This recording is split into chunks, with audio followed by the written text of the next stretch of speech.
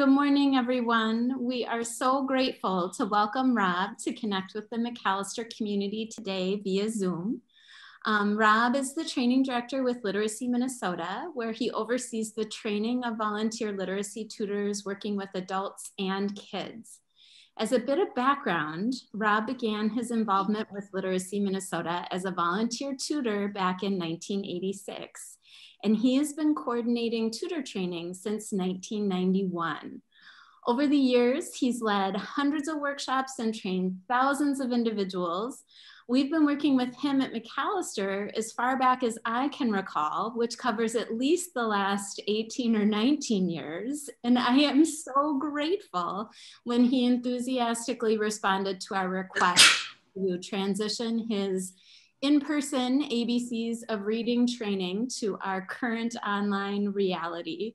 Um, I also want to briefly express my profound gratitude to Matt from the Dean's Office of the IGC who is rescuing us from most certain doom via Zoom, given my lack of technological expertise. Matt will be making all of this newfangled technology work for us today, and I encourage you to connect with him via the chat function if you are experiencing any technological challenges. Please go ahead and chat Matt Katsaros.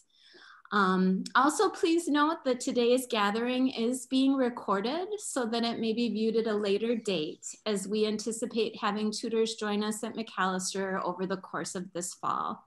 With that, I will turn things over to Rob. Thank you. All right, good morning, everyone. Thank you, Ruth. That was a, a good introduction. History I didn't know I had, so thank you for that. Uh, as Ruth said, my name is Rob Podlasek, and I'm the training director used to be training director for the Minnesota Literacy Council. And on January 1st, we changed our name to Literacy Minnesota. And we fully expected that to be the most exciting thing to happen in 2020. And here we are in September, and it's not even the top 20 most exciting things uh, most profound of all, the movement of all of our instruction to virtual, and then all of our tutor training to virtual it's a new reality for all of us, and it's exciting and nerve wracking, and it is what it is. I just want to thank you all for doing the work that you're doing with the kids. I know how important tutoring is for them. It's been that way since the beginning of time, and this year is no different. So thank you for that work. Uh, thank you for doing it this year when there's a lot of unknowns. And so in advance, I want to thank you for all of the ambiguity that you'll be dealing with people haven't been doing this for 20 years. They've been doing it for a couple months. And so there's going to be a lot of questions about how this is going to work and what you should do. And so thank you for tolerating that and rising to that challenge. And then I really want to encourage you to document what you do and share what you do because virtual learning isn't going away. Virtual tutoring isn't going away. And you guys are the pioneers this year in figuring out how it's going to work. And so the experiences that you've had and the expertise that you could share really going to enrich years and years and years into the future. So please share that information with Ruth and Eiley and all of the staff in terms of what worked, what didn't work, and so forth. So our agenda for the hour and a half we have today, pretty ambitious. Uh, this is the welcome. We're going to do a little reading overview, looking at the reading process, what it is, and why kids sometimes struggle. We'll spend time talking about reading to kids and reading with kids, probably the most common thing that tutors do, and research suggests the most valuable thing tutors do. Uh, we'll talk about helping kids understand vocabulary words. A big part of what you'll be doing is explaining unknown words to the kids. So we'll talk about strategies for doing that well. Uh, we'll touch briefly on alphabetics, which is probably the thing that's changed most in the um, virtual environment. And then we'll end with what teachers said was the most valuable thing volunteers could work on, and that is writing. So we'll give you six suggestions for some writing activities. So That is the plan. Uh, we're gonna do a lot of breakout room work, and we're gonna do a lot of type your answers in the chat box work. And it'll really help if you have a couple pieces of scratch paper around to uh, jot some things down. So that's the plan. So I'm gonna start out with a warm up. I know no two words and still fearing people, then warm up. It's like, oh my gosh, bad enough I have to be here. Now the little weenie is going to make us do something, but are going to do a warm up activity. And this is a great activity to do with the kids. and it's called a story chain or a cooperation. What we're gonna do is in a couple seconds, we're gonna put you in breakout rooms. And uh, we'll have about six people in each room. And uh, if you could turn on your camera and mics so you can see and hear each other. Introduce yourselves in terms of where you are, what you're doing, what your major is, all that good stuff. And then you need to pick a starter. So we're going to say the person who was born farthest away from McAllister gets to go first. So figure out who that is. And then once you've done that, you're going to do the activities. So the starter is going to start with a story starter like it was a dark and stormy night, or once upon a time, or after I was evacuated from Liechtenstein because of COVID, or last night when I should have been studying, or however you want to start the story. And then you're going to go around the room. Person's going to share, use a sentence, and they're going to call on someone who will continue the story with a sentence or two and then that person will call on someone who will continue the story with a sentence or two and so forth. And I'd like you to continue until we call you back into the main room. And if you run out of your end your story, go ahead and start another story. So I'll have Matt go ahead and put people in the breakout rooms and we'll do 10 minutes for this activity. So see you in 10 minutes.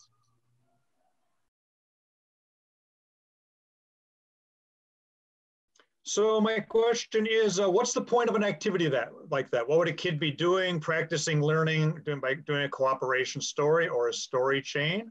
So just go ahead and type in the chat box sort of what is the purpose of doing an activity like the story chain activity you just tried.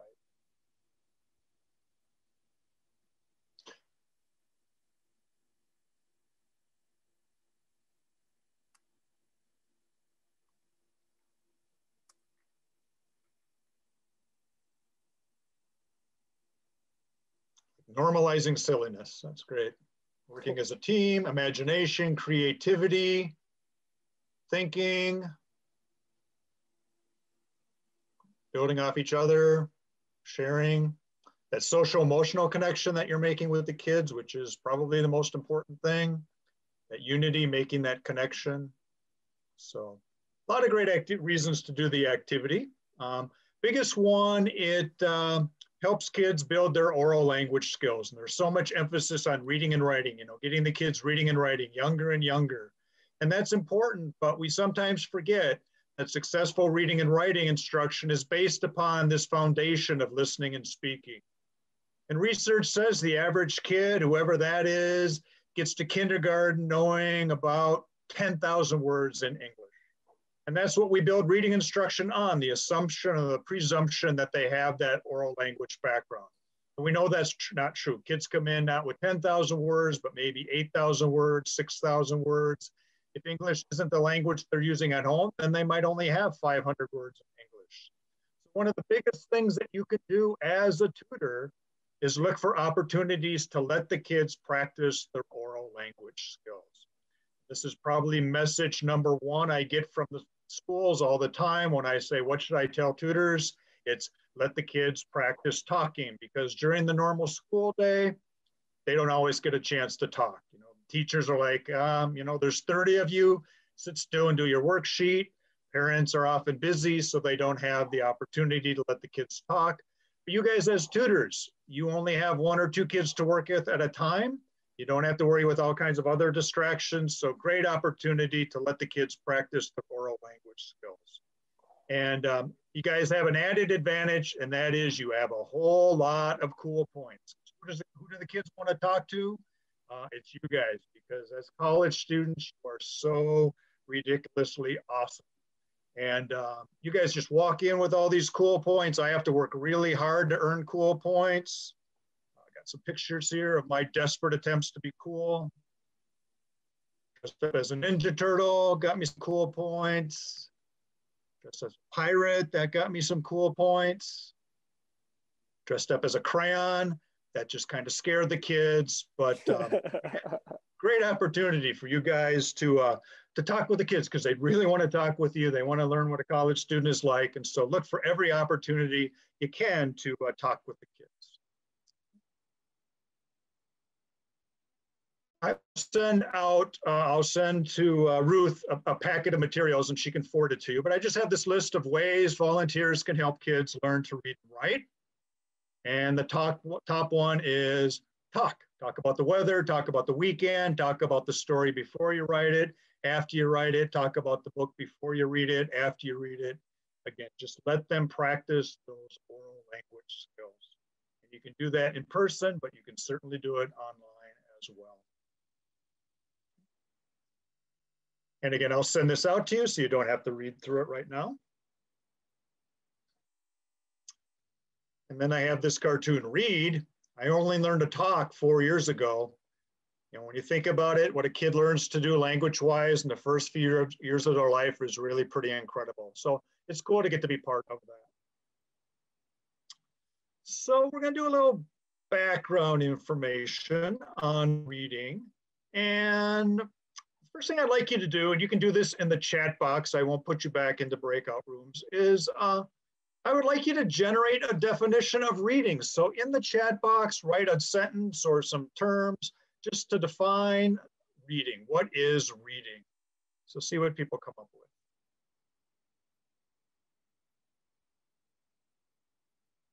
Interpreting and understand written language.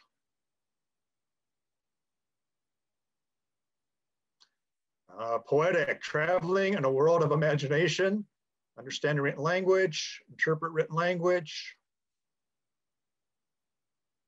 converting symbols into meaning, meaning through words, translating words to meaning.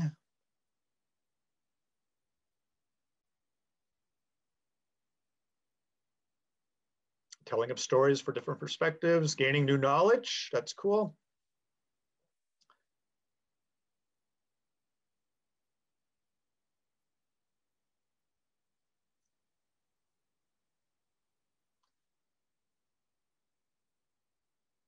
Your own meaning for groups of words.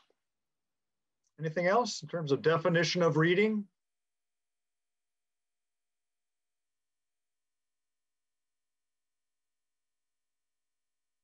All right, well, here's the one I'm going to share. Decoding symbols in order to understand a message in order to do something. So decoding symbols in order to understand a message in order to do something. And I think in your definitions, you uh, mentioned each of these points. I just tied them all together. You guys were much more poetic with your language. And I used three colors to get across the idea. It's a three-part definition, three-part process. And when helping kids or helping anybody with reading, you got to keep all three parts in mind because sometimes we focus on one, forget about the others. Uh, first part, decoding symbols uh, making sense of the marks on the page, not something you're born knowing. It's something you need to be taught. Big part of reading instruction, especially at the lowest levels, teaching strategies for decoding, learning the letters, sounding out words, memorizing words, really important. And uh, research continues to come back to its importance and how it's something that we need to explicitly be taught because it's not something you pick up automatically. And sometimes people stop there. They say that's what reading is. Reading is decoding. And you all took it to that second level, which is meaning or comprehension or understanding. And I'll have people say, well, you can read without understanding. And I'll argue, no, you can decode without understanding. But uh, until you can understand, until there's comprehension, you can't really call it reading. And it's kind of a waste of time. And then the third part, part in blue, is the purpose. Reading is a tool, it's a means to an end. And the reason we have all these literacy programs is because it's a really important tool in our culture. And we really don't read because it's fun sounding out short vowel sounds, right? We learn to read, do something.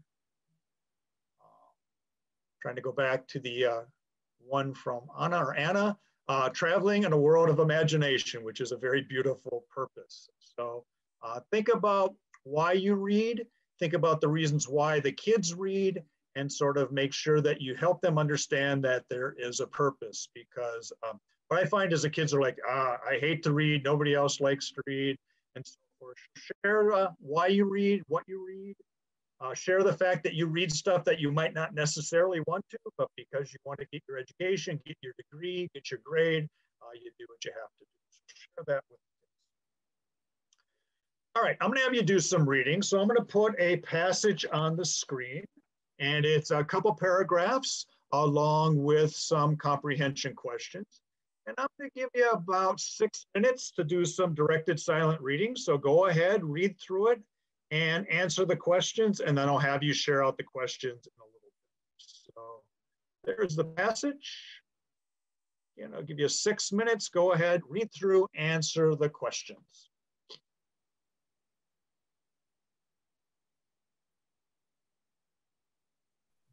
Uh, this might be, is it supposed to be backwards? It is supposed to be backwards, yep. So oh. make you, make you struggle a little bit.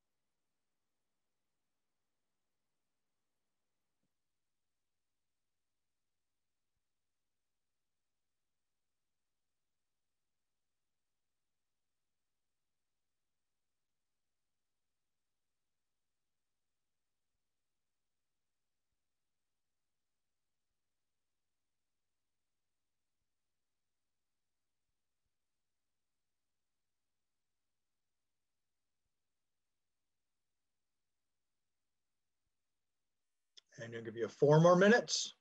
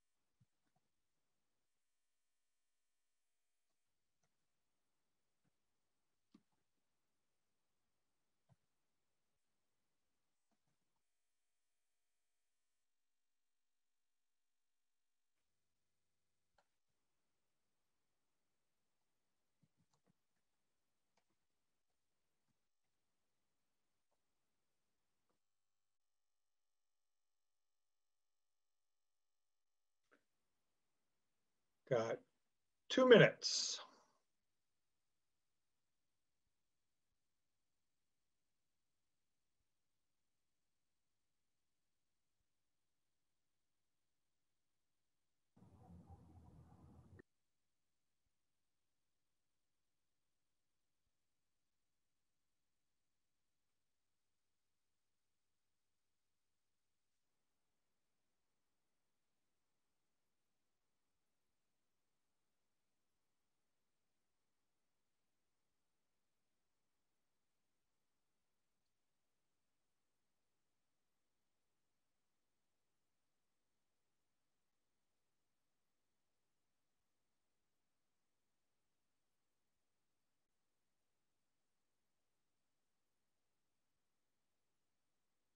Thirty seconds.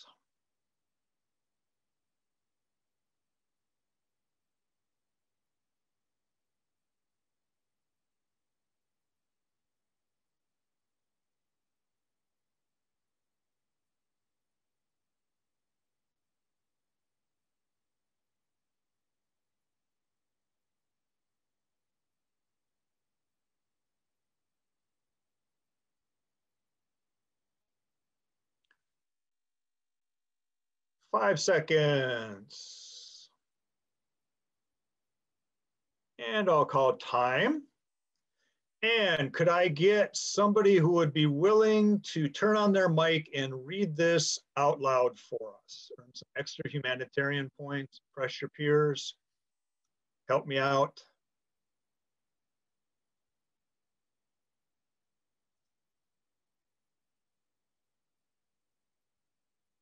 Someone help me out, come on.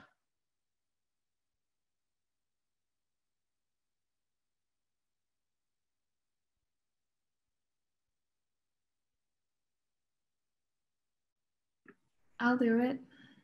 All right. Emily? Yeah. Thank you. Thank you.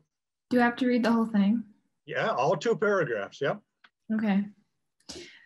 Um, a trog starts granning a steg as soon as it is born. It never stops granting um, stags. The the stag catches um, glad for the, the trog. The stag is very strong. The stag can hold or orits and even little animals like mice. A trog can bird uh, blugs um, together. The blug, bl- blugs are in the water. The trog gets on the blugs and sails off. Sails off. The trog may get off his blug boat and walk on the water or catch an uh, orit. Then he gets back on his blug boat and sails away. Beautiful. Thank you so much for helping me out. Uh, better check comprehension. So I'll have you guys uh, enter, enter your answers in the chat box. So we'll start number one. Number one, a trog grand stags. A, all its life. B, now and then. C, once a year. Lots of A's popping up.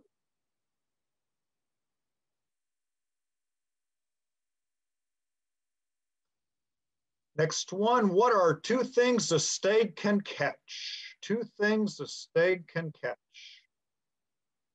Clob and mice.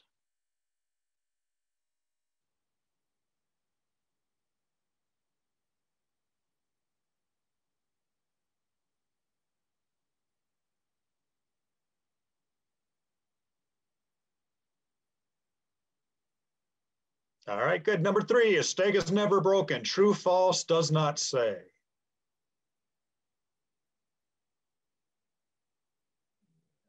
Lots of does not say. And does not say questions are tough, so it's, it's hard to find something that's not there. So good job with that. Uh, number four, what can a trog bind together? A, blugs, B, orits, C, glob.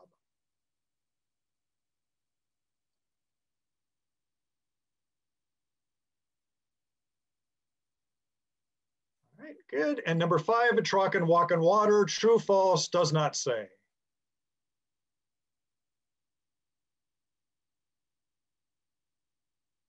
All right, that's correct. So you read it beautifully. You got uh, all the answers correct. You're obviously great students. I'm obviously an amazing teacher. What's the problem? None of us know what's going on. None of you know what's going on. That is indeed a problem. And if you remember nothing else about this training, that's definitely a possibility. Remember this activity, and every time the kid you're working with reads something as beautifully as Emily did, stop and think. Is that like that trog's activity? And every time they get all the questions right, just like you did, stop and think, is that like the trog's activity? Because you'll see this replicated over and over again. And usually most kids aren't gonna say, excuse me, I don't have a clue. They're gonna say, man, that sucked, let's do something else. So obviously an activity to give you an idea of some of the struggles, some of the feelings the kids might face. How are you feeling as you did this? Go ahead, type your answers in the chat box. How are you feeling?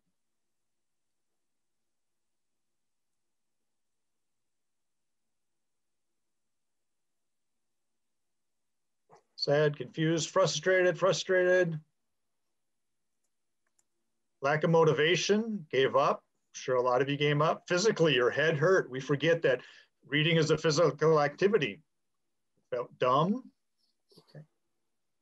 Yeah, so remember those feelings of frustration. You know, you have felt them here, five minutes in a training. The kids face it all the time. And so um, it gets frustrating for the kids. And sometimes we're oblivious to it. We're like, isn't this fun? And we forget that it's a struggle, physically a struggle, mentally a struggle for the kids. So what were some of the reading challenges you had? What made this difficult for you? Go ahead and type in your chat box.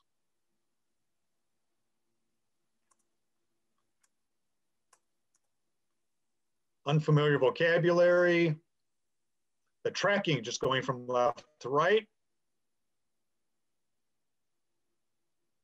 The writing looked different.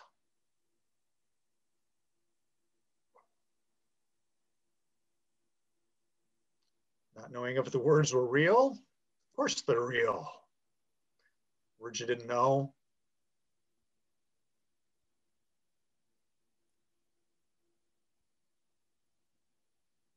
Yeah, again, that unfamiliar vocabulary.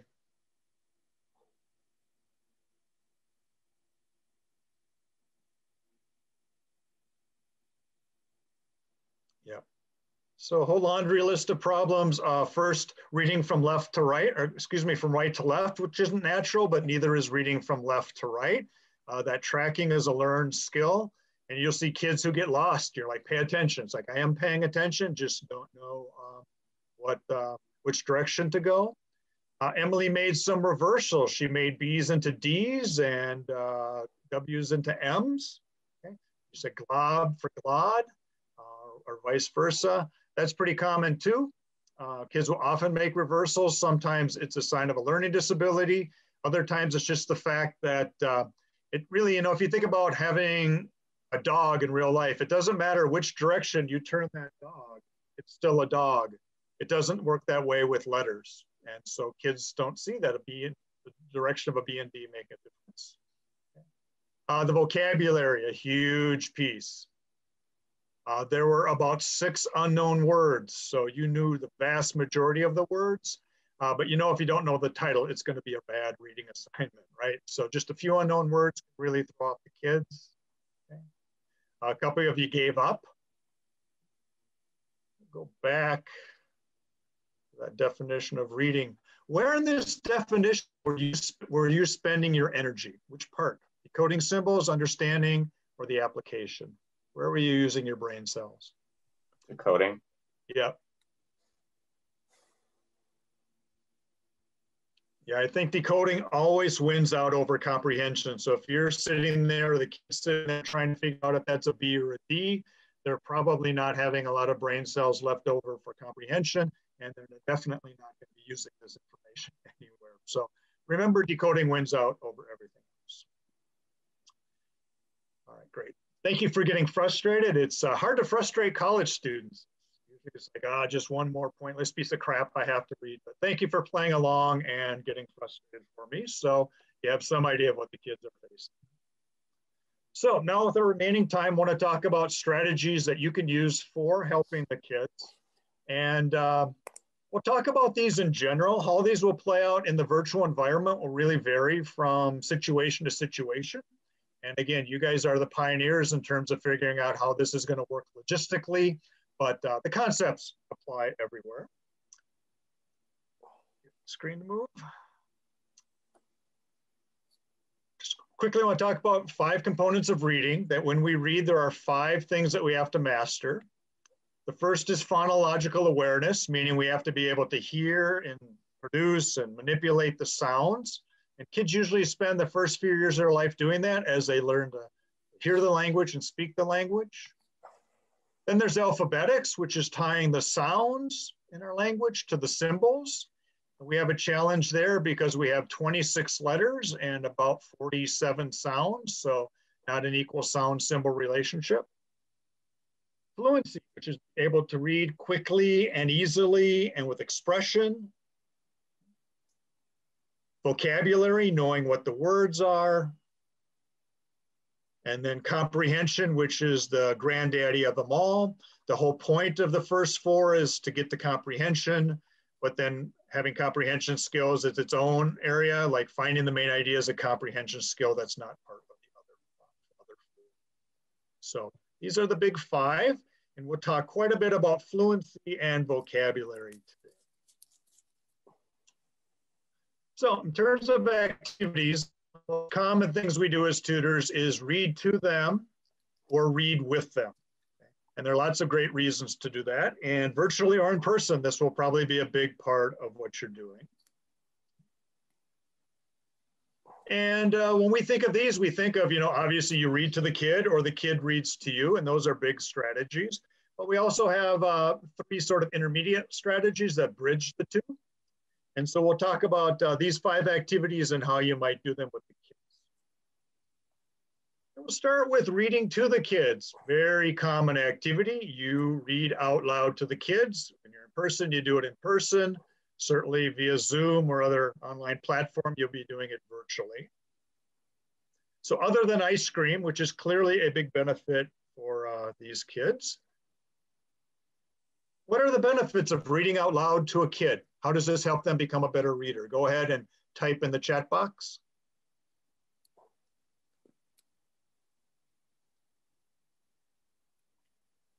They hear how words sound.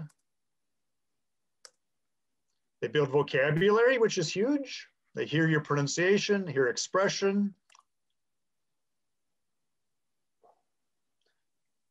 Builds that phonological awareness. They hear the inflections. They hear what natural reading sounds like, which is different than when you read trogs. Sorry, Emily.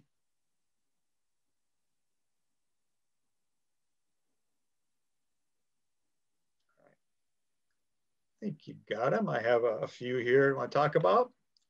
Uh, develops print awareness, which is a big one, especially if you're reading with uh, really little kids. You know, if you, you have an eight month old, a book and a truck, she's going to do pretty much the same thing with it, which is put it in here's her mouth. Okay. Then uh, once you know they get to develop some print awareness, they realize that books and trucks aren't the same thing, and so they move from this level of print awareness to this level of print awareness where they're getting better at understanding how books work. And then they move from this level to here where it's clear uh, there understands how books work. So with really young kids, one of the biggest things you can do is read to them so that they see what uh, reading looks like. And we unfortunately see kids who come to our preschool who don't know what books are because they've really never seen somebody use one. So building that print awareness is huge. Uh, models fluent reading. If you want to be a good piano player, you listen to good piano players. If you want to be a good soccer player, you listen to good soccer or watch good soccer players. You want to be a good artist, you look at good paintings. If you want to be a good reader, you listen to good readers.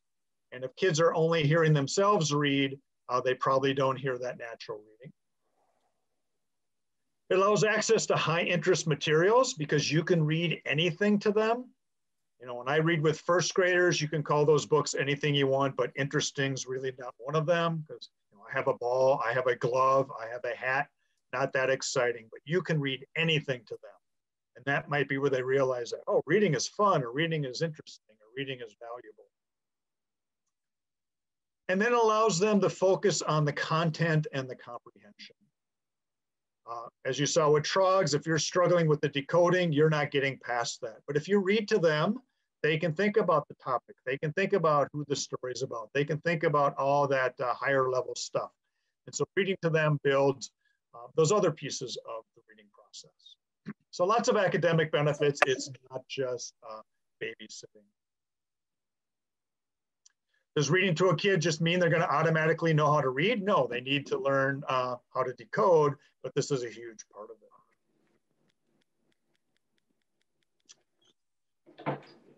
Good picture. My first thought is, oh my gosh, they're sitting way too close.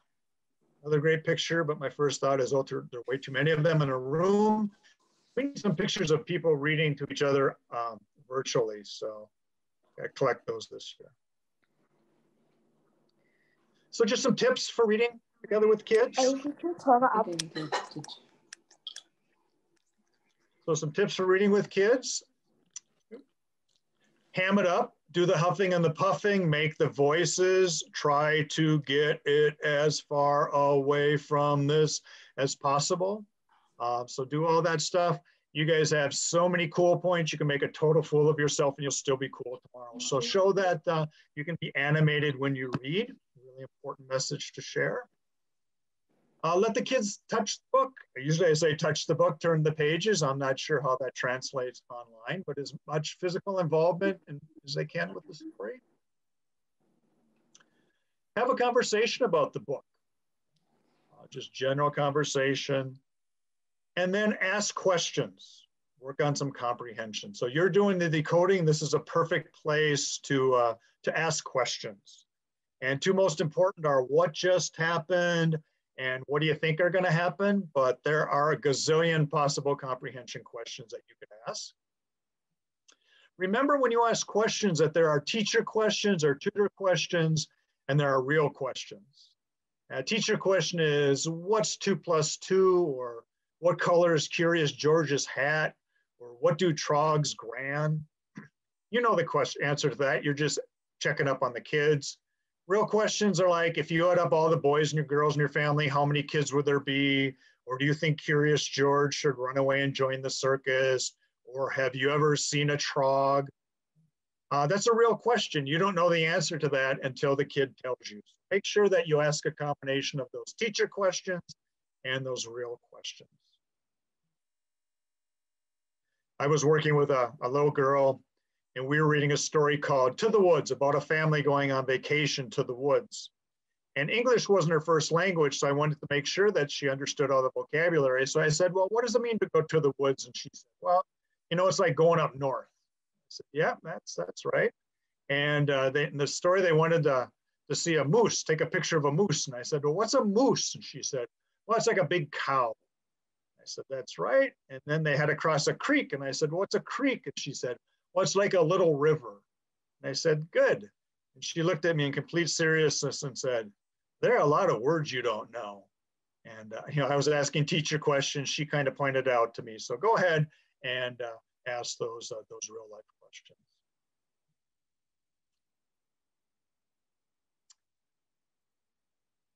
So let's look at the reading with kids strategies and we'll start with echo reading. And what you do with echo reading is you read a sentence and the kid repeats what you've read. And then you read a sentence and the kid repeats what you said. They're repeating or they're echo echoing what uh, you read. And so I need a volunteer who will help me do this activity. So if you could unmute yourself and say, I'll help you out. You saw how much fun Emily had. So here is your chance to help me out. I can help you was it Anna? Anna? Yeah, yeah. Which one, Anna or Anna? Uh, whichever. oh, I called I called Anna from Frozen Anna, and I got in big trouble. So yeah. All right, so I'm going to read, and then you're going to repeat what I read out loud. Okay. So we'll start. We're going to use. Uh, we're going to do Alexander and the horrible, terrible, very bad day. So let's start with the title. I'll read it, and then I'd like you to repeat it. Alexander and the terrible, horrible, no good, very bad day. Alexander and the terrible, horrible, no good, very bad day. All right, good. All right, now that was pretty easy for you because you could just read the text yourself, right? So we're gonna make it a little bit more realistic. So I'm not gonna show you the text.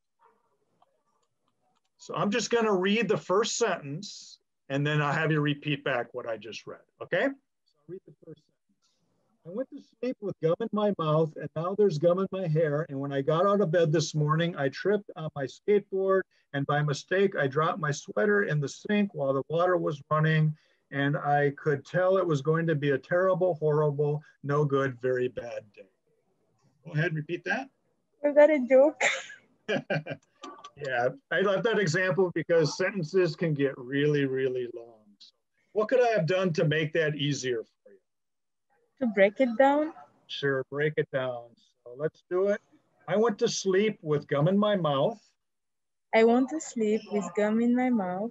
And now there's gum in my hair. And now there's gum in my hair.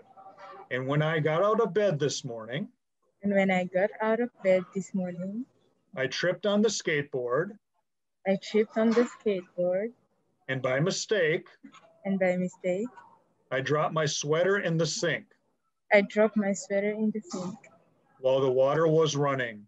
while the water was running. And I could tell it was going to be a terrible, And I could tell it was gonna be a terrible, horrible, horrible, no good, no good, very bad day. very bad day. Okay, thank you. You're So welcome. again, that's echo reading. You read, the kid reads back. Uh, in real life, they can look at the book. If they're not, don't make a big deal out of it. Don't say, you're not really reading, what's that word? Again, the trick is to break it down into uh, manageable chunks. It doesn't take too many words to become unmanageable. This one's nice because you can, uh, you can read really high level stuff and the kid can repeat back and that's pretty exciting for them. I've seen students do it with college textbooks. And the, and the first graders are like, woohoo, I'm reading a college textbook, right? So it's a, a nice way to. Uh, so next activity is uh, called duet reading, paired reading, partner reading, neurological impress method, a lot of names for it, all pretty much the same activity what you're going to do is you're going to read the story aloud together. And this one's interesting on Zoom because everybody can't be talking at the same time or the sound cuts out. So if you're doing this in person, you can all be talking out loud. If you're doing it on Zoom, you're probably going to ask the kids to um, keep their microphones muted, but have their cameras on so that you can see. So we're going to do this and I'll put the text on here. Move your pictures so I can see it. So what I'm going to do is I am going to read this out loud and then I am going to trust that all of you are going to read aloud with me. Okay. So on your mark, get set, go. I went to sleep with gum in my mouth and now there's gum in my hair. And when I got out of bed this morning, I tripped on the skateboard and by mistake, I dropped my sweater in the sink while the water was running. And I could tell it was going to be a terrible, horrible, very bad day. Very bad day. So again, you're going to read aloud together. If the kid's a couple seconds behind you, it works fine on uh, Zoom. So the big thing there is to help them increase their speed so they aren't reading word for word. Um, unlike the first one where you can read any text to them, this one, it has to be a little bit simpler reading material so that they can read through it. That is duet reading, paired reading. Next activity you can try is alternate reading. And this is where you take turns. So you read a sentence, the kid reads a sentence, you read a sentence, the kid reads a sentence, read a sentence, the kid reads a sentence. Pretty straightforward. Um, I'm going to send you away. That's one long sentence. So what do I got here?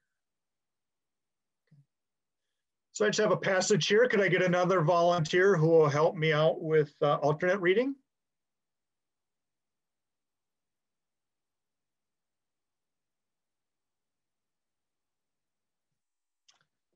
Guys are shy. So I just need someone to volunteer and might unmute themselves.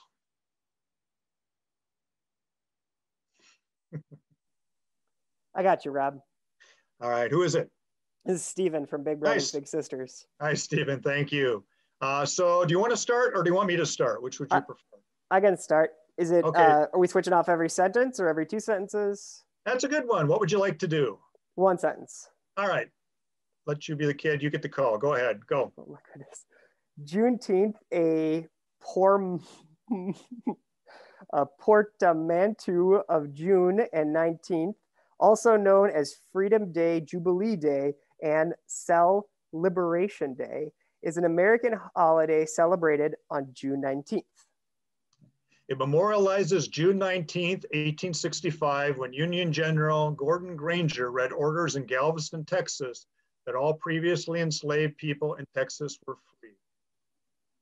Although the Emancipation Pro Proclamation had formally freed them almost two and a half years ago, and the American Civil War had ended with the defeat of the Confederate States in April, Texas was the most remote of the slave states with low presence of Union troops, so enforcement of the proclamation had been slow and inconsistent. All right, thank you. And I let Stephen pick, so it was his fault that he got the long sentences and he got the sentences with the hard words. So I always let the kid pick who goes first. Uh, and I've had kids go, haha, you got the long sentence, let's keep reading. I'm like, okay, I'll play this game all day if you want to. Also nice because kids will start looking for that end punctuation. Uh, sometimes they skip over the periods. Uh, here, it means I get to stop. So, so good activity. Next activity. Rob, do you know what that word is? The the P word? I don't even know what that is. What is it? Portmanteau? Yeah, I don't. Who's a French know. major there?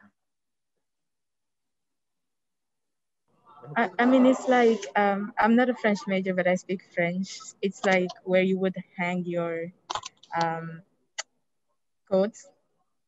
Yeah, okay. so like coat hanger. Yeah. Okay, right. it's it's my word of the day. It is your word of the day. We'll get the vocabulary a little bit.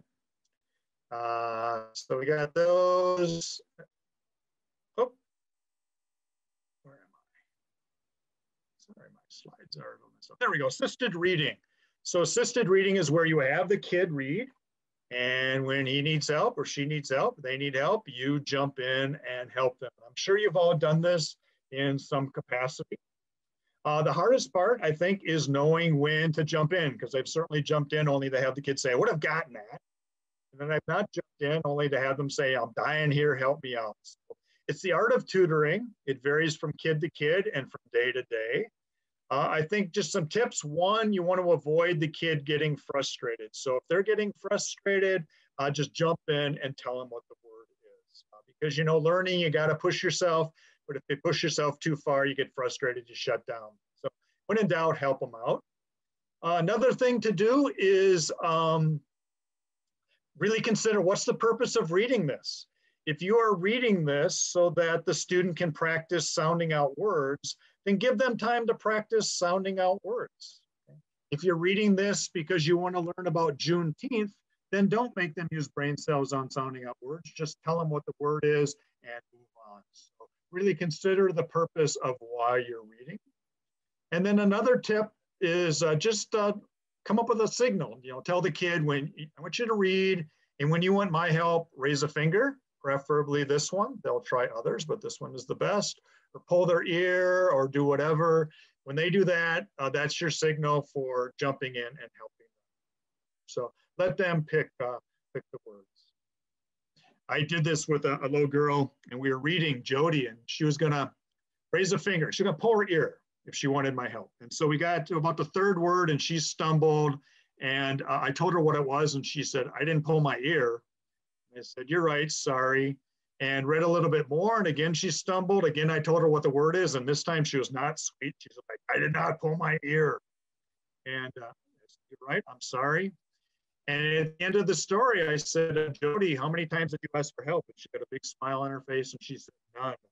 And I said, you know what? You're right. And I'm sorry. And I want to apologize because I haven't let you be a, as good a reader as you can be. You know, because sometimes in our quest to help the kids, we do it for the kids and that's not helping either. So find that balance. It varies day to day. Uh, just don't let them get frustrated. So additional thoughts about reading with and to the kids you know, not all books or not all passages are created equal. Uh, you know, some books are designed to be read by kids who are learning how to read, and some books are designed to be read by adults to those kids. Think about what's the purpose of this book, what's the purpose of the activity, and sure you make sure you match up the kid with the book with the activity. Um, really, any book is accessible to any kid. If they want to read uh, War and Peace, then read it to them. Right. The big thing, don't ask the kids to read books that are above their reading level to you. So if they're reading at a second grade level and don't have them pick a fifth grade book, that's not going to make them a better reader. It's going to frustrate them. Um, so most times in schools, books are leveled or reading material is leveled and kids will know they're in level one, level B, level green, level banana, whatever that labeling system is. Um, if you don't have a book that's leveled or you don't know the level of the reading material, you can do the five finger test. So every time the kid is reading or have the kid read every time they miss a word, raise a finger. And if you get to five fingers on one page or a couple pages, that tells you that's way too hard a book for them to be reading themselves. Uh, maybe they're really interested in it, so stop and read it to them. If they have no fingers up, that's a great book for them to read to you because they can read more fluently and show you what a great reader they are. There, if there are a couple fingers up, maybe you take turns reading or something. But again, make sure the kids are reading books that are at their level or even a little below their level if they're reading out loud to you. Uh, reading the same book over and over again is a good thing, really. I'm sorry. I know it's painful to read that same book 500 times. Uh, the kid isn't cheating, the kid is practicing. And so uh, curl your toes, grit your teeth, and uh, read the book again. One of my favorite pictures here is I love the look on the tutor's face, like, oh my gosh, must during this book because We've all been there. So uh, fake that enthusiasm and recognize that the kid isn't cheating, they're, uh, they're uh, practicing. And then you have to be bad before you can be good. You know, reading is a skill, it's something you do. And you don't start out good at a skill, you start out bad. And the way to get good is to not quit, right? And I know all of us have quit learning to do something because we got to the point where we weren't really good at it. And so we just quit violin, piano, banjo. Go ahead in the chat in the chat box, share what you learned and you quit. So what did you give up that you were learning? It got hard and so you just quit. piano because languages, piano and dance, gymnastics, beatboxing, sewing, violin,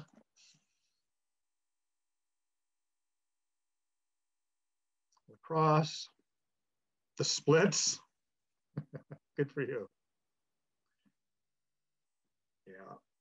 You know, the kids kind of want to give up on reading because it's tough. And so it's our job to really help them over that hump of wanting to quit. A couple ways to do it. One, don't set them up for failure. So pick materials, pick activities that they're going to be successful at. Tutoring should really be about success.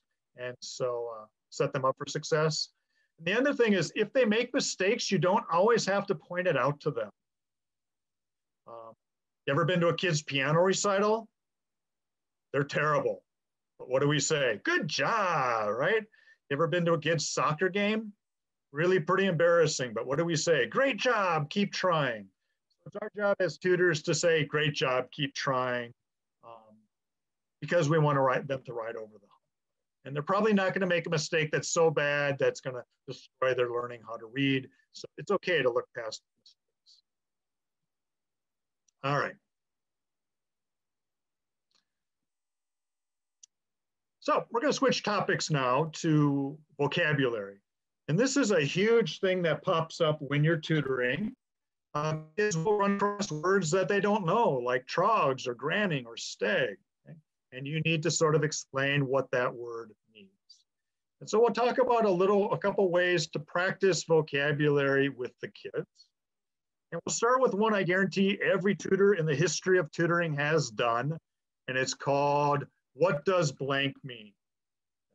And that is you're reading with the kids, and they look at you and say, What does trogs mean? Or what does emancipation mean, or what does whatever mean. And then you, in the heat of the moment, uh, sometimes with people watching, have to come up with a definition of that word. Okay? So it's like it's like a game show.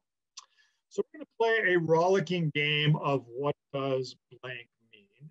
So first thing on the screen, I have put some vocabulary words. And I would like you just on a piece of paper somewhere to uh, pick 10 of the words and write them down. So don't just pick the first 10, but don't spend 20 minutes picking 10 words, but just pick any 10 words and write them down. Uh, piece of paper.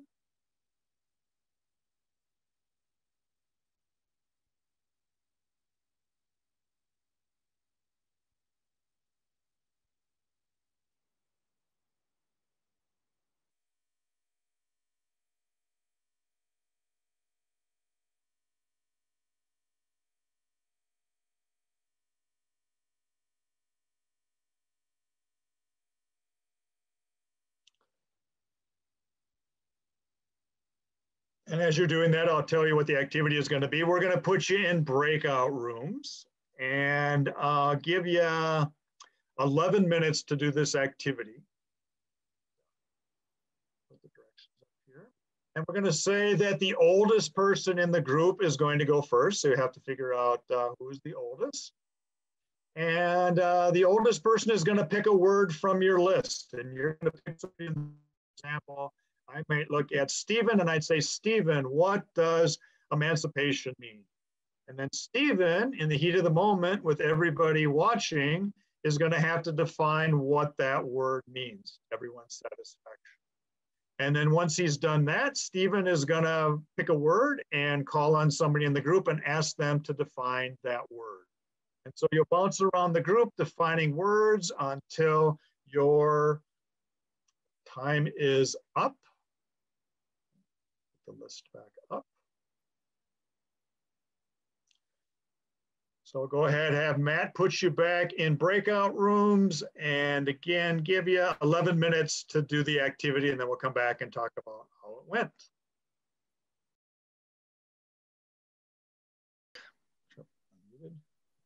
Thank you for doing that. Um, so what did you learn as you did this activity? Go ahead in the chat box, type sort of what, what did you discover as you uh, did what does blank mean?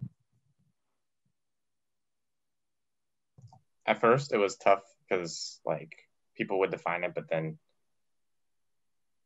like, oh, I guess I can type in the chat. You're, you're fine, keep talking.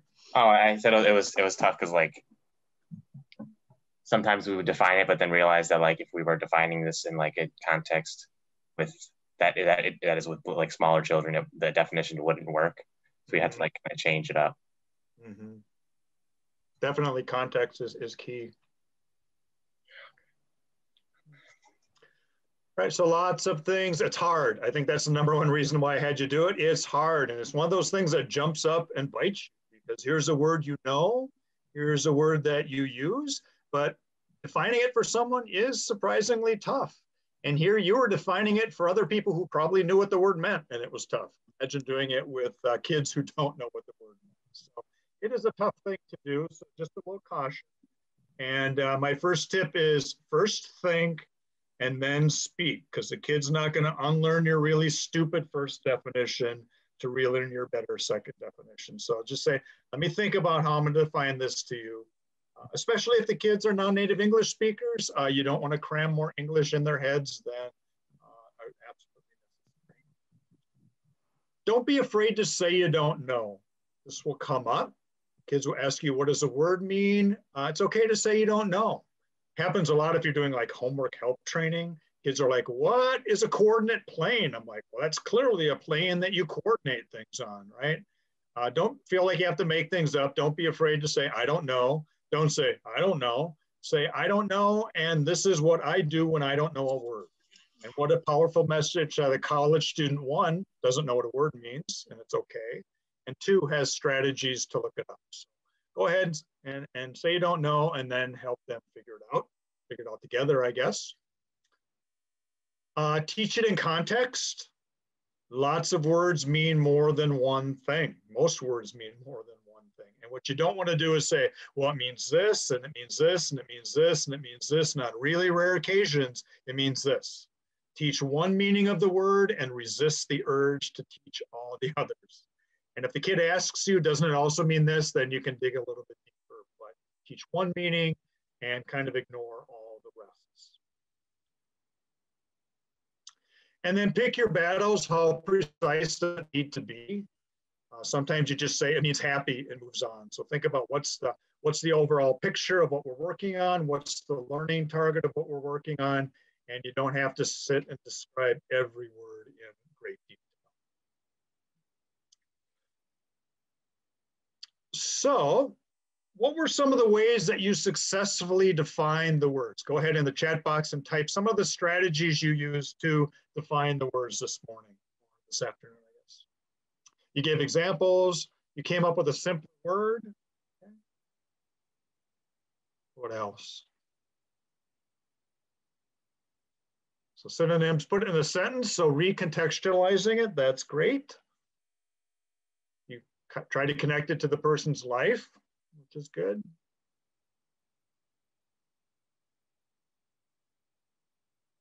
What else?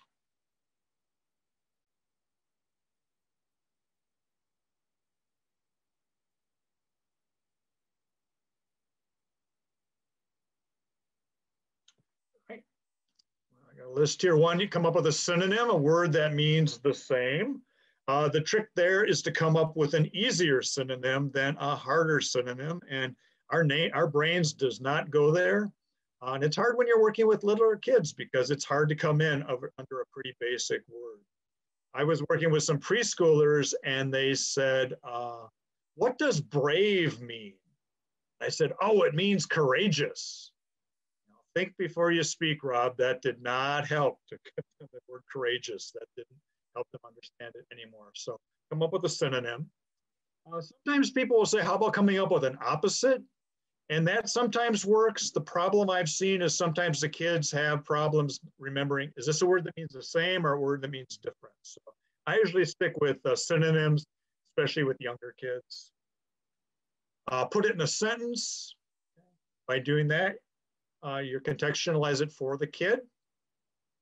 Give an example. Here's an example of brave. Here's an example of whatever. You can draw it so you can give them a visual clue. You can act it out. Lots of zoom hand movements here as you're trying to uh, define a word. And then you might just give a definition. It means this. And I think what you'll find is that which strategy you use depends on the word. You'll probably stumble through a couple of them before you come up with the, uh, the right one. And if you combine them all together, then that's, uh, that's the ideal. When I did uh, the, um, what does brave mean? I said it means courageous. And that didn't help. So I said, well, it means not afraid of anything. And one of the kids said, oh, like Superman. So they came up with the example. And um, said, yep, that's right. Uh, part of my job is I do trainings for uh, offenders in the correctional facilities around Minnesota, and we were doing this activity, and they had the word dismal. And they called me over, we were in person, they called me over and they said, dismal, does this mean little? I said, no, it's actually the prefix dis, meaning against or bad. And uh, that didn't help. So I said, well, the weather's been really dismal. And since they were in prison, the weather wasn't the most relevant um, uh, context. I said, well, the Minnesota Twins have been really dismal. And one of them said, oh, I mean sucks. And I'm like, yeah, that's that's a synonym for it. And that's the one that stuck. So again, you might stumble your way into it. You can also do an activity called a vocabulary card that ties everything together. So we'll do this. So for this, you'll need a piece of scratch paper and on your paper, if you could divide it into four, like on the screen.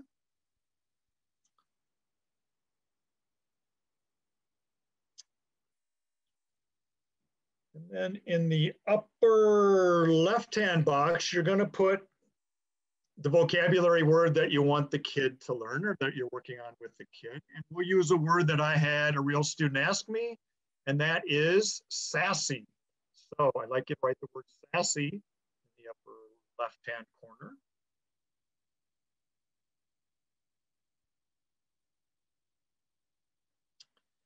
And you said coming up with a sentence was a great way to teach the words. So in the box below, you're going to write a sentence using the word sassy.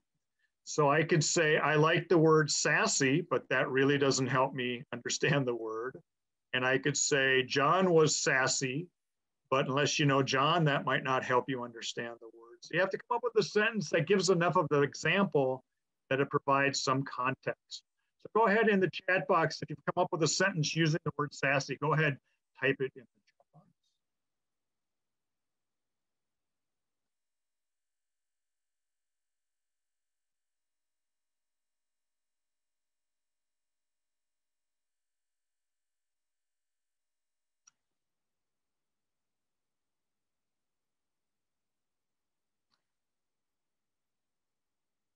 So again, in the chat box, write a sentence using the word sassy.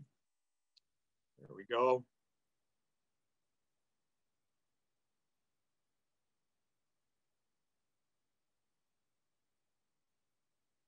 Got a couple of them.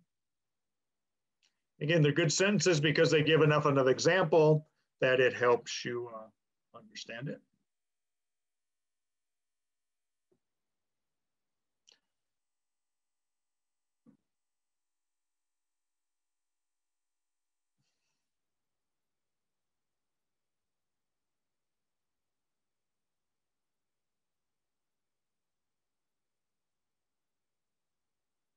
All right, good. In the box in the bottom right-hand corner, I would like you to write a word that means the same as sassy. A word that means the same as sassy. And then go ahead and type that word in the chat box. So synonym for sassy.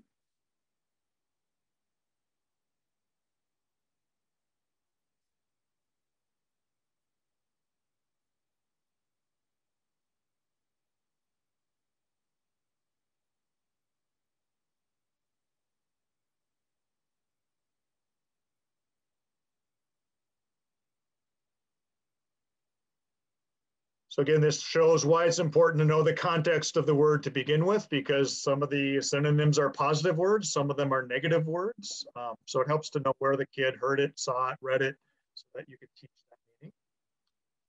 Um, another thing that you can do and have you on the back of the card, I would like you to draw a picture of sassy.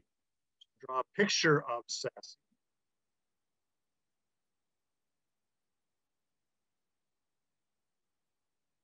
Do your best work. We're going to post these online somewhere.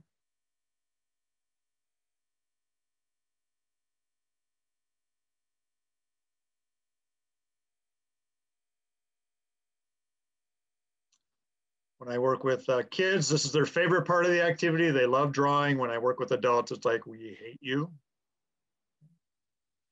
And I won't make you show your drawings to everybody. But I trust you did great work. Uh, and again, here I'm being nice. I won't make you turn on your cameras, but I would like you to act out sassy. So I'm going to trust that for your benefit, the cat's benefit, you're going to act out sassy.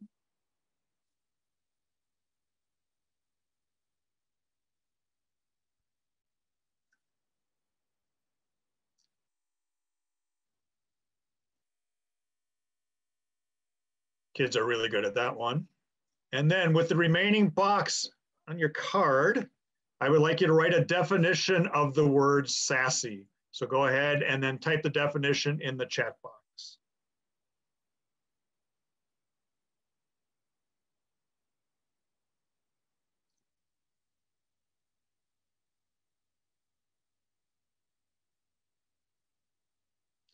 Definition of sassy.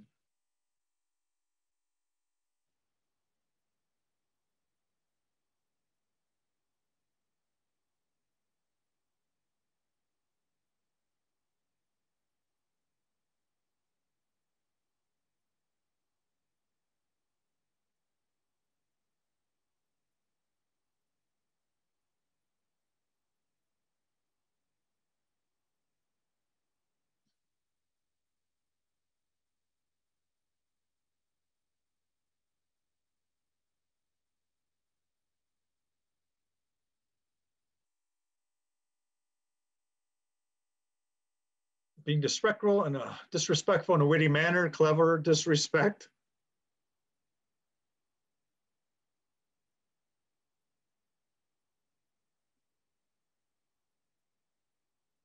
Any other definitions?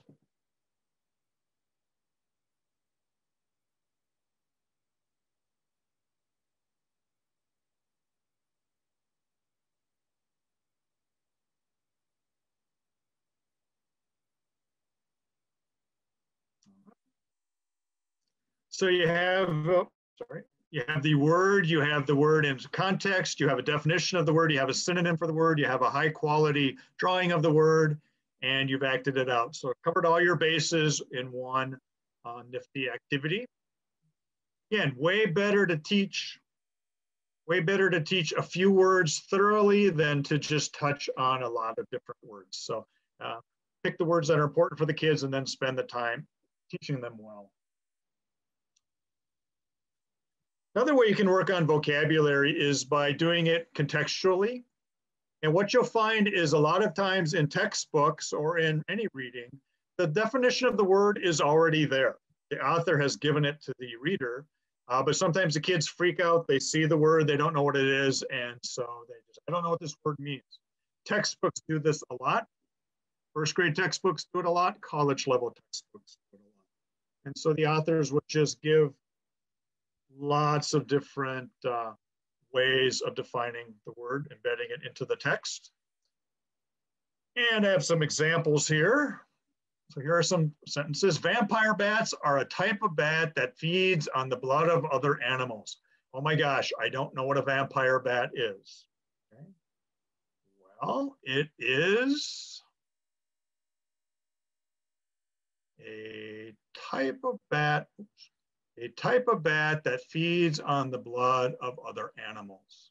It's already contextualized in the sentence. So one of the things that you can do with the kids is help them find in the sentence where the definition is given. And so go ahead, the annotation feature should be uh, activated. So if you could click on view and draw and go ahead, use your annotation tool to underline, highlight, circle, whatever the uh, part in the sentence where the definition is given.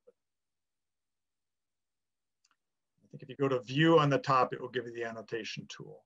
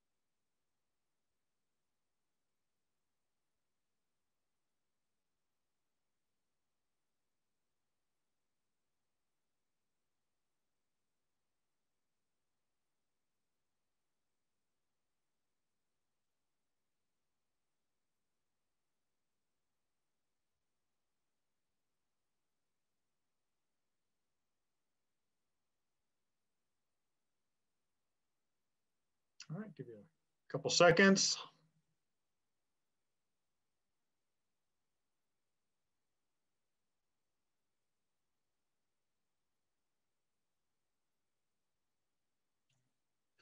The annotation tool, if you're using Zoom, is a great way to keep the kids physically involved with what they're reading. And so doing underlining or highlighting works really well.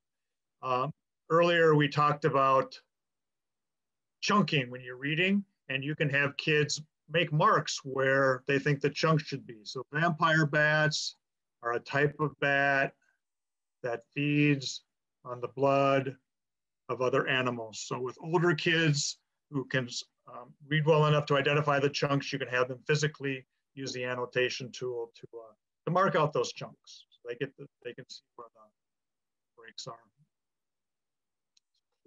Drawing.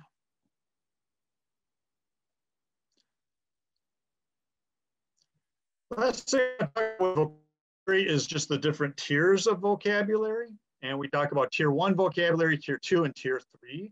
Tier one vocabulary are uh, sort of conversational words, words that we use when we talk to each other, words that we use when we post on Facebook, uh, words that we use in informal email. Uh, chances are the kids know the meaning of these words.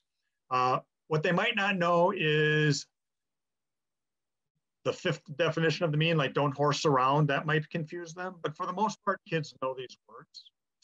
Tier two words, sometimes called the specialized words, uh, academic word list, the reading word list, the power word list. These are words that we really only run across when we're reading, particularly more academic texts, or we only use when we're writing more academic things. And, um, you know, people say, oh, I use these words all the time. You probably don't talk to your friends and say, I have a significant amount of homework to do tonight. But when you're in a job interview, you say, I have a significant amount of experience and you should hire me. So um, these are kind of the, the power vocabulary, the academic vocabulary. These are words that kids often don't know because they're not reading a lot or they're not reading academic texts. And then tier three words are the technical words. Words are going to come across in a science textbook, a history textbook. Um, these are really important if you're doing homework help type of activities. But in general, the most important words to work on are those tier two vocabulary words because those are the ones that kids are going to run across uh, the most. So spend your time helping them really understanding those words and look for every opportunity you can to use those words when you're talking to the kids. When I was working with the preschoolers, they would do morning meeting where they went around and talked about how are they today. And the kids were either good bad super good or super bad. So i would always try to find a tier two word to define how i was. So one day i said i was disgusted because the weather was really bad. And uh, the kids sort of didn't react and i didn't think they paid attention. And when I went to tutor the next week, the teachers were all laughing because the kids were telling everyone that I was disgusting. Like, no, different form of the word, but at least uh, they were paying attention. So look for opportunities to expose them to those tier two words. Okay, moving on. And it's just crazy to spend so little time talking about alphabetics, but uh, getting into too great detail would really open up a can of worms. And I think you'll probably be given a whole lot of resources at your tutoring location to teach these skills. You'll be given a phonics book to work on. You'll be given some uh, materials to use to practice these skills. And it really is important that you align what you do with the kids to what's happening in the classroom for these. Uh, the way you understand how to sound out a word might be different from the way the kid understands it. So I'm just going to breeze through these quickly and sort of trust that you'll be getting resources from uh, your program or I can come back and do another training on alphabetic strategies. Sometimes they're called the decoding strategies. Sometimes they're called word study strategies. You'll see these terms all used. They're all the same. Whatever you call them, I tend to call them games. Yay, we're going to play some games to practice our alphabetic skill. So just to quickly go through these. Um, letter recognition, so knowing your ABCs. It is a kindergarten reading grade level expectation, meaning at the end of kindergarten, all kids should know the letters.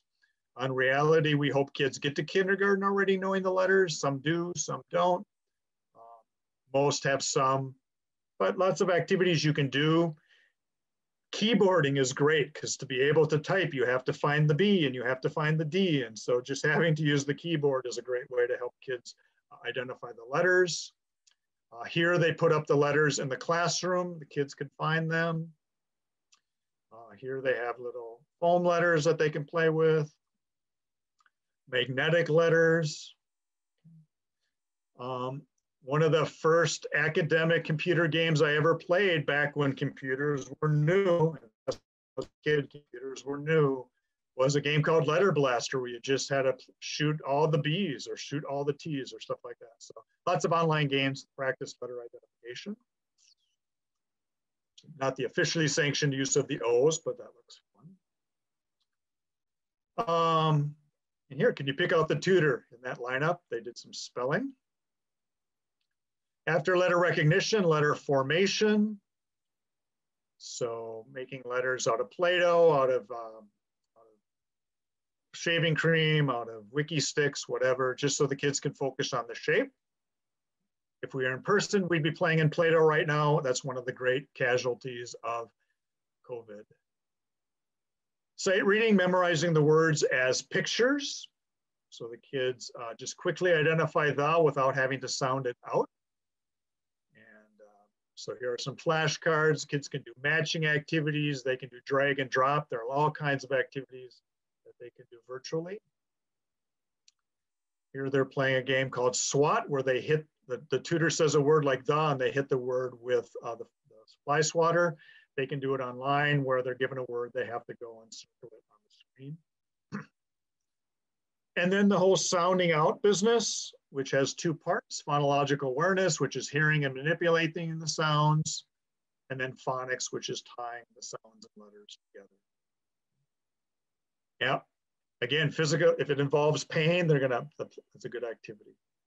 So what I will do is I will send um, Ruth some handouts with some phonics activities and some alphabetics activities along with some websites Again, I trust that the sites you work with will give you resources, either websites to use, computer games to use, whatever, to practice whatever skills. I know I went blew, blew through it pretty quickly, but that was intentional because I wanted to leave time to talk about the last skill, which is writing.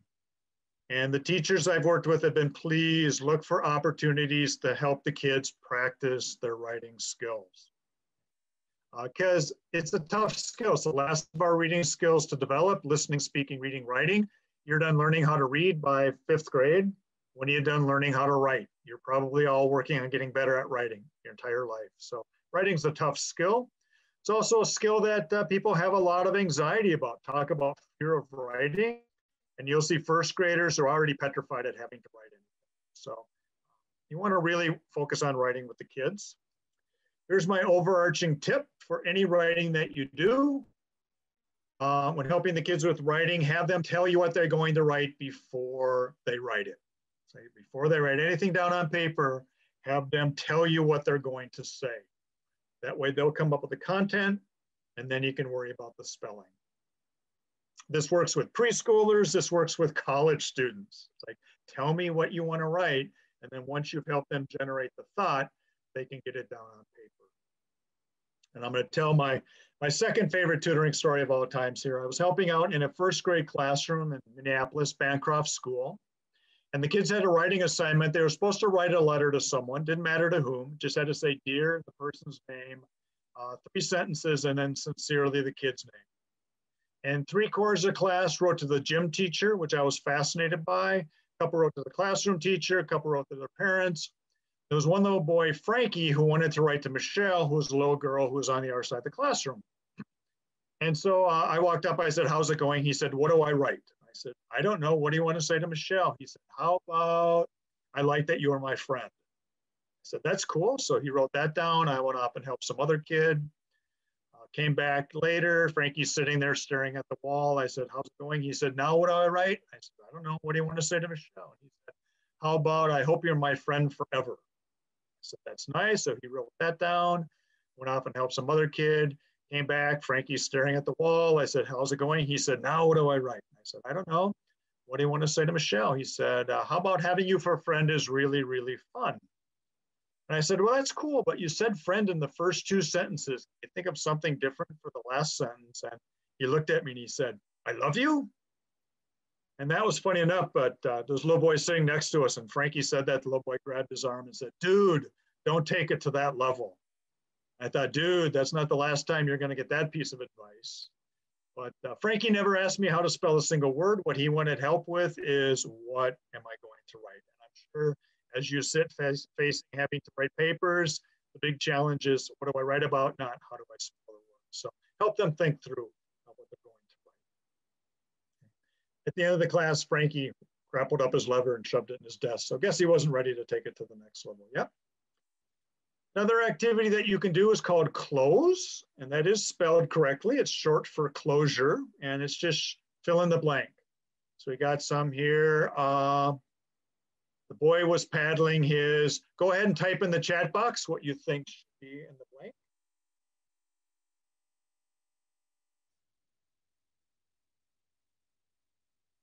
people are awake. Paddleboard, canoe, canoe, kayak. Not that many options. Okay. Let's try another one. In winter, it is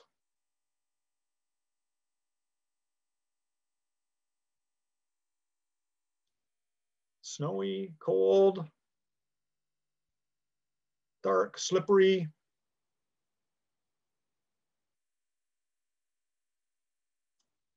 Time for ice hockey. There's an optimist there. And we'll do one more here. I like to eat, oops, sorry, most open-ended there. I like to eat pizza, but what, what else do you have? Fruit and nuts, breakfast, ice cream. Bad activity to do over lunch. Boiled cabbage. So a closed activity could be there's one, a couple logical answers, more answers, sky's the limit. For writing assignment, that last one is probably the, uh, the best. There's one, uh, if I had a superpower, and he said he would love to have x-ray vision, which is a good superpower. In preparation for running across this question, which seems to pop up in like every textbook, I would like you to write what superpower you would like to have in the checkbox. You can't put the superpower to have all superpowers. That is cheating. So what would be your superpower?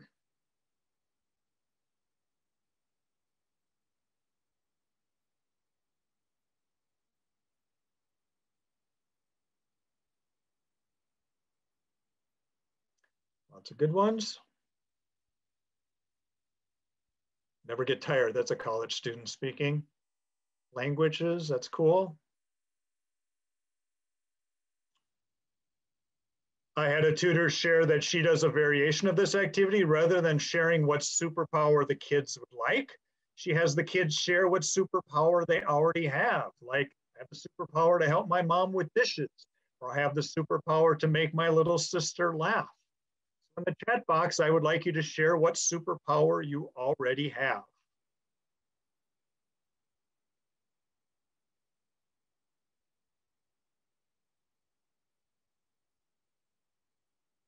Multitasking, good for a college student.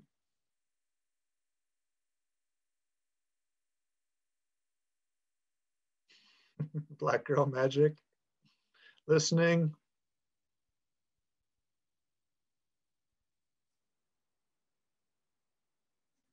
Ah, Steven's using his superpower for good here.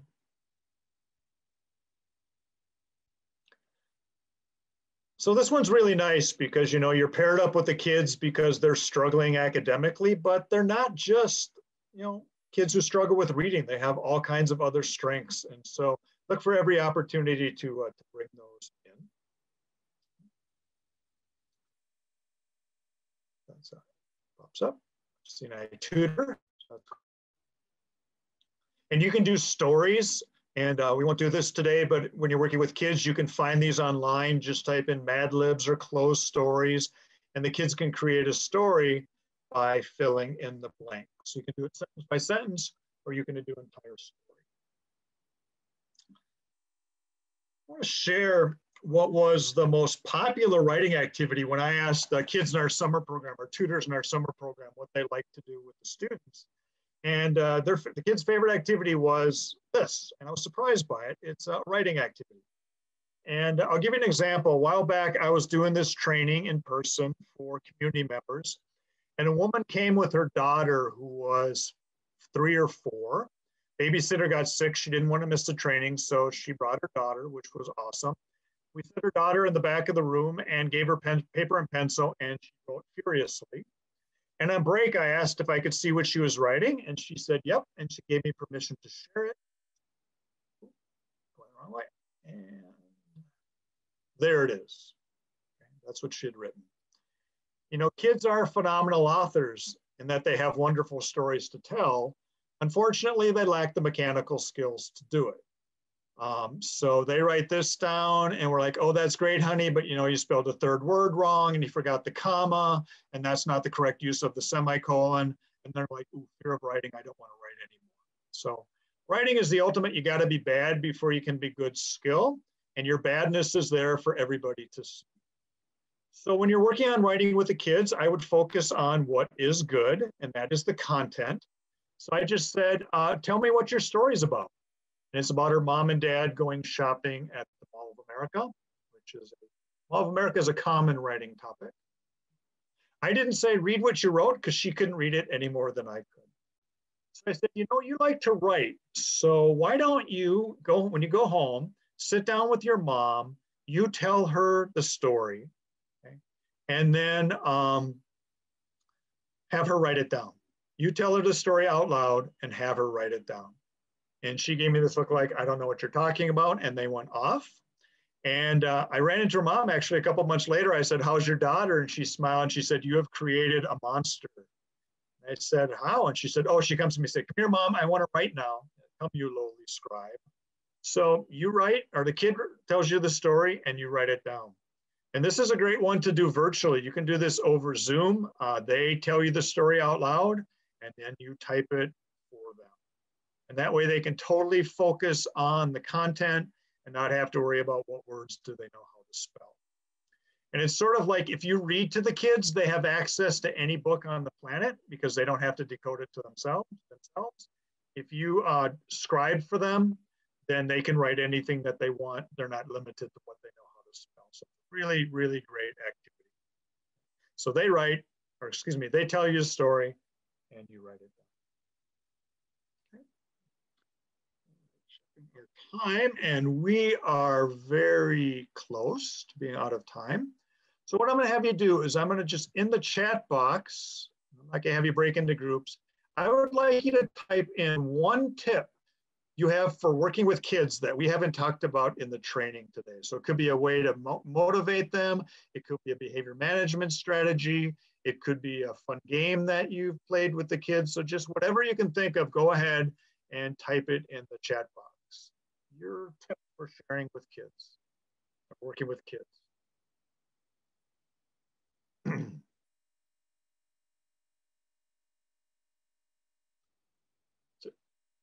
humor's good. Lots of people online reading, so you can find books being read out loud by all kinds of famous and infamous, not famous people. Humor. What else do you have?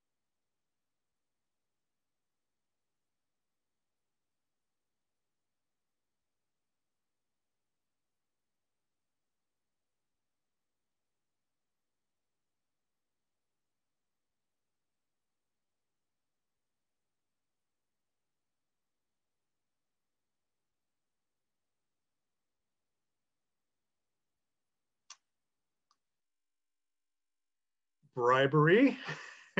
you can do you you don't have enough cool points to get them to do it on their own. So uh, you have to do bribery. Be high energy. I know the last thing you want to do is go to a tutoring session. Trust me, but you know once you get there, you want to be the one that's uh, providing the energy. That's great. What other tips do you have? Either activity ideas, ways to keep them motivated, We have checking to see who's awake. Keep them moving, physically moving, which is harder to do online. Being patient and understanding. Again, make tutoring about success.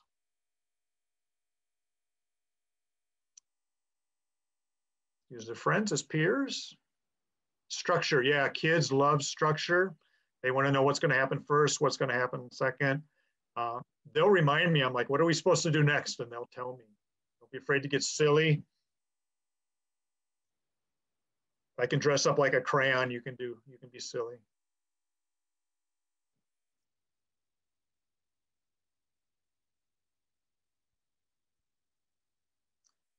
You guys have a lot of great ideas and I would, you know, trust your instincts, uh, talk to each other, get ideas from each other. That's valuable. Uh, the programs that you work with, you'll have teachers and you'll have staff that can provide you with resources and ideas if you get stuck. Okay. The internet has tons of activities. Uh, how do you teach whatever and they'll come up with lots of different things that you can uh, borrow and use and if you ever get stuck just ask the kids because it's their job they're they're learners all the time and so they know what they're supposed to do and i'll just end with a story i had was working in the classroom and I walked in. The teacher gave me a group of 10 kids and a bag of 100 flashcards and wanted me to review the flashcards. And so I sat down with the kids and I said, uh, How are we supposed to do this? And one of them rolled their eyes and said, what you're supposed to do is hold up the word, ask us what it is. If we get the word, we get to hold on to whatever gets the most, most words wins. Like, you idiot, everybody knows how to do this. And so we did this a couple times around the circle, and they said, This is boring. I said, Okay, how can we make it more interesting? They said, How about we have to use a word in a sentence? And if it's a good sentence, we get the word. I'm like, Sounds good. So we did it a couple times around. They said, This is still boring. I said, Okay, how can we make it more interesting? They said, How about we have to use a word in the sentence and you have to tell us if the sentence is true. I really had no idea what they were talking about, but the first word was mother, and my mother is 32. I'm like, true. And they're like, nope, she's 33. I get the card. Uh, they like this activity. They stumped me on every single word. We got through the whole bag. They counted up the word, and then they said the thing no tutor wants to hear, which is let's play again. But again, they had the buy-in. Let them decide how you're going to do the activity, what activities you should do. See, Ruth is popping up, which means my time is out. I want to end with uh, saying thank you. Um, and I think saying thank you for tutoring is like when they say thank you at Dairy Queen for buying ice cream, because the kids are really good at saying thank you by being happy when you show up, by being happy or being sad when you leave. Um, and sometimes I do formal thank yous. I just want to end with some that I got from second graders. Here's them dogpiling me, so that's a nice way to say thank you. Uh, but here's one I got. Dear Rob, you are nice. Thank you for working with us. Have a nice week. Yours truly, Sarah. So go Rob. And my coworkers give me a go Rob. So thanks to Sarah there. And then, uh, dear Rob, I will miss you because I will not be here. I'm going to move.